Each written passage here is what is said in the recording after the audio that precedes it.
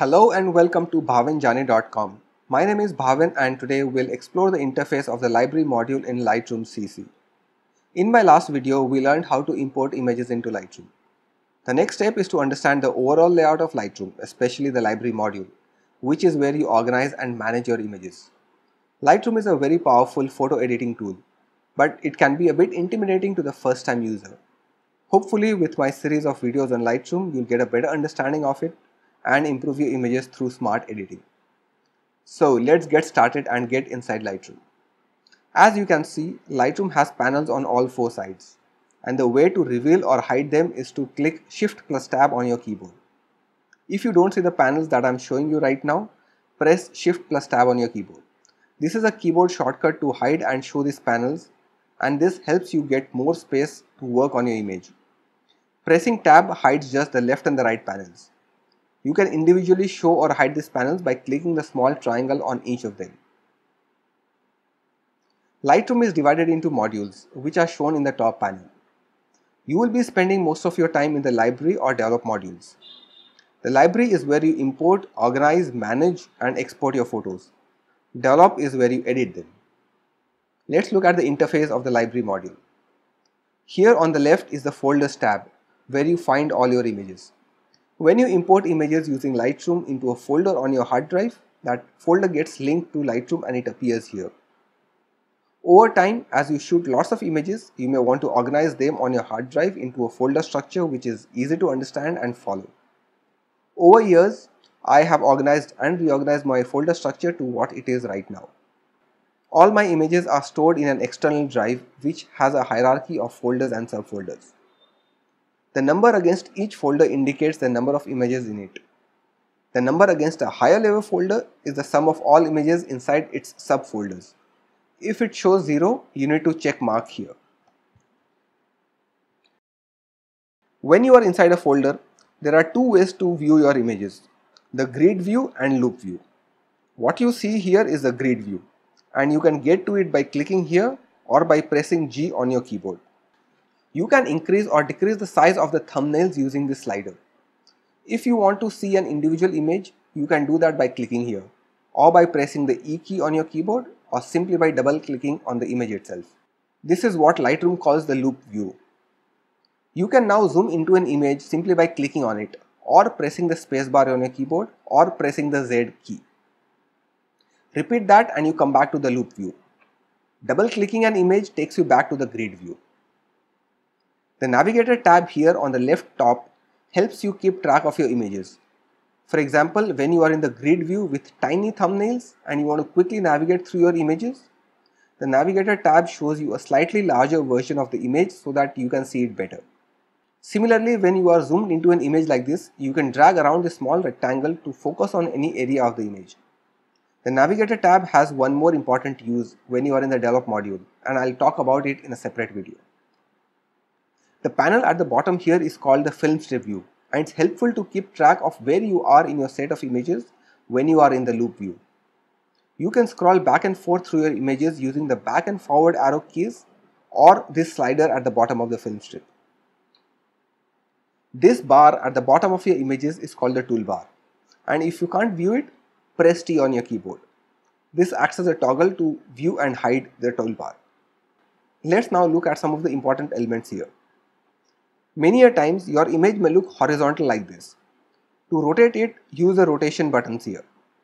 The keyboard shortcut for this is command plus left bracket key and command plus right bracket key depending on how you want to rotate them. You can however set this orientation in your camera so that they appear upright here. You can also sort your images in many ways by using this sorting option. I usually use either capture time or file name but you have other options to choose from. And this A to Z button here is to organize them in an ascending or descending order. While you may be a great photographer, there will always be images that you may not want to keep because they did not come out well.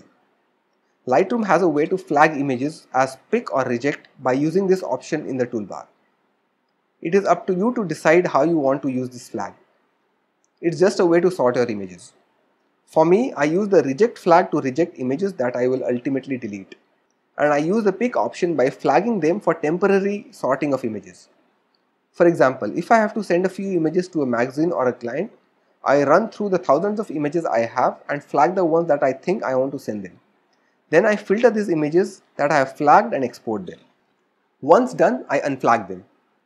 To unflag an image that is selected as either pick or reject, click on the image here or use the keyboard shortcut U for unpick.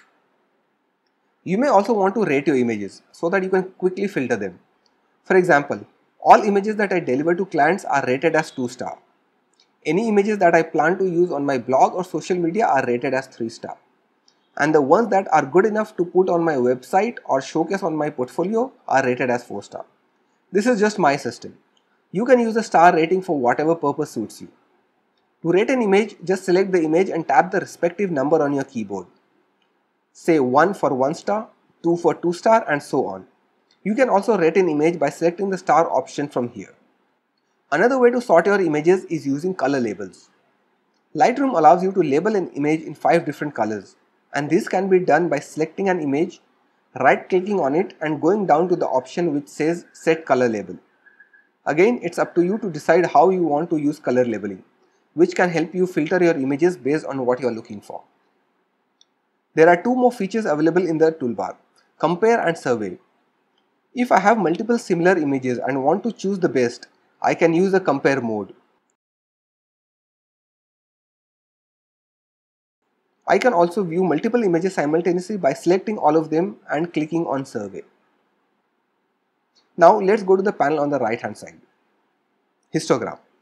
A histogram is basically a visual representation of the amount of brightness and color spread over an image. It's something fairly technical and complex to discuss here and we can skip it for now.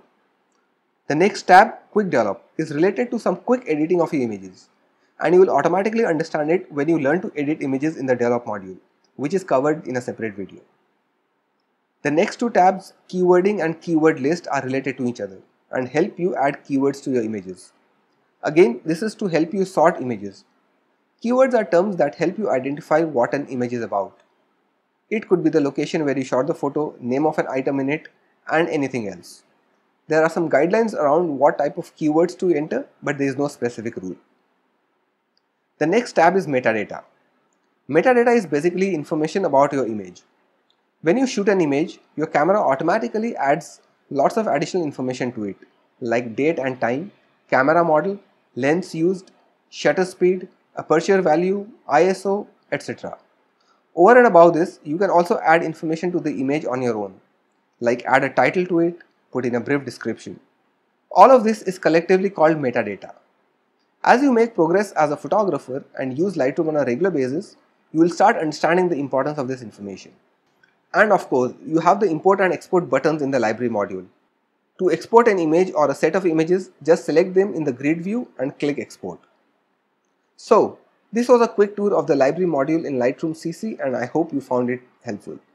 If there's anything specific you want me to talk about, please mention it in the comment section below and I'll be happy to create a video on it. If you like this video, I request you to click the like button below and if you want to learn more about photography and Lightroom, please subscribe to my channel. Thank you and you have a nice day.